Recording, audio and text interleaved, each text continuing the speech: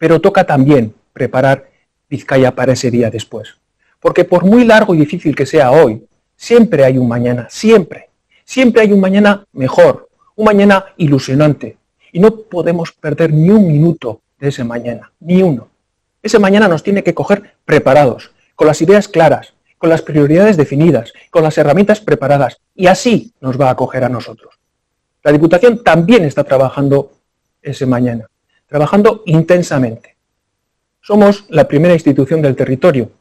Asumimos esa responsabilidad de agente tractor y desde esa responsabilidad estamos ultimando un plan urgente de reactivación del territorio de Vizcaya. Un plan Vizcaya-Aurrera.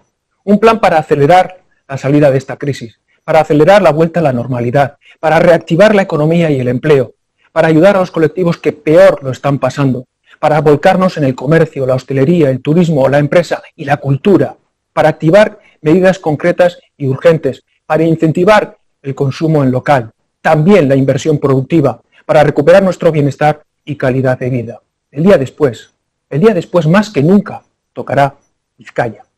Es un plan en el que todas las personas van a ser agentes activos, en el que todas y todos podemos ayudar. La reactivación de Vizcaya está en manos de todas y de todos. Es una tarea colectiva, porque Vizcaya somos uno, patera, y si lo hacemos juntos, si cada uno aporta su esfuerzo, saldremos antes de lo que pensamos del bache.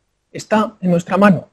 Todas y todos somos valiosos, todas y todos somos imprescindibles. Yo confío muchísimo en Vizcaya y sé que Vizcaya va a responder, Vamos a dar ejemplo, vamos a ser ejemplo y vamos a sumarnos a todas las iniciativas que propongan desde el gobierno vasco, porque la colaboración entre instituciones va a ser clave, como lo va a ser la colaboración público-privada y como lo es la colaboración entre las personas. Insisto, el día después toca Vizcaya, toca consumir en Vizcaya, toca viajar por Vizcaya, producir en Vizcaya, buscar aliados en Vizcaya. Toca recomponernos rápidamente, para que desde esa fortaleza ayudara a recomponer también el orden global. Y el plan Vizcaya-Horrera será la locomotora de ese gran tren que es la sociedad de Vizcaya. ¿Os acordaréis? Tenéis que acordaros de la campaña Somos o no somos para impulsar el comercio local. Pues eso, yo pregunto, ¿somos o no somos?